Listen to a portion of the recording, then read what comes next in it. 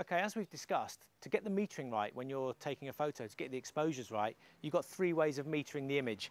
You've got the shutter speed, the ISO, and the aperture at the front.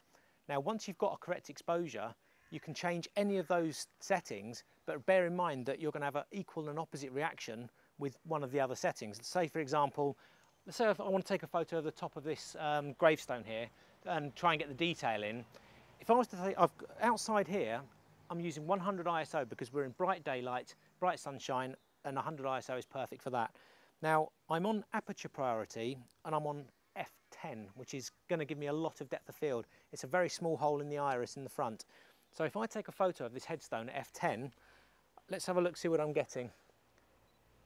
I'm getting a shutter speed of 200th, which is fine. f10 is fine, 100 ISO is fine, and we take the shot.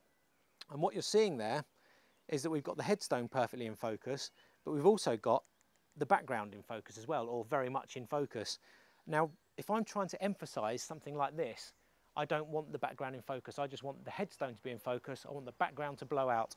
So while staying in aperture priority, I'm going to open the aperture right up to f3.2 and take a photo now. And it's still at 100 ISO, so I'm not changing the ISO for this shot. So let's take the shot now. And what I'm getting now f3.2 is two thousandth of a second. But as you can see with the photo, we've completely killed the background and just the headstone is in focus. Now that will emphasize the lettering, the, the detail on the headstone without letting the eye wander to the background. So what happened there was, as we opened the aperture to lose the depth of field, the shutter speed automatically increased. So as you were on a set of scales, that's what's happening. You open the aperture and the shutter speed will close right down to a, a much faster shutter speed.